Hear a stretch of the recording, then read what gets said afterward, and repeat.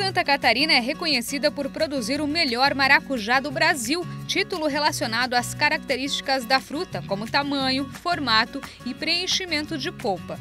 O estado está entre os três maiores produtores de maracujá do país, atrás apenas da Bahia e do Ceará. A produção catarinense é praticamente toda comercializada em São Paulo, Rio de Janeiro, Minas Gerais, Distrito Federal e Porto Alegre.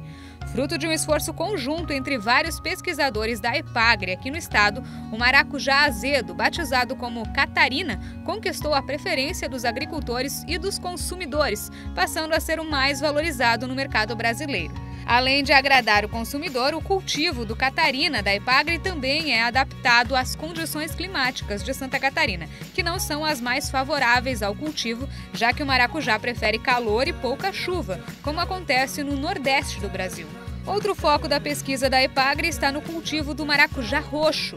O fruto atrai pela beleza externa e por conter polpa menos ácida. Relatos de consumidores indicam que o suco do maracujá roxo é mais apreciado que o do maracujá amarelo. Ainda segundo a Epagre, no caso de exportação, o maracujá roxo teria algumas vantagens, pois europeus e americanos conhecem basicamente o fruto com essa coloração. O maracujá disponível no mercado mundial é pequeno e a polpa é mais doce.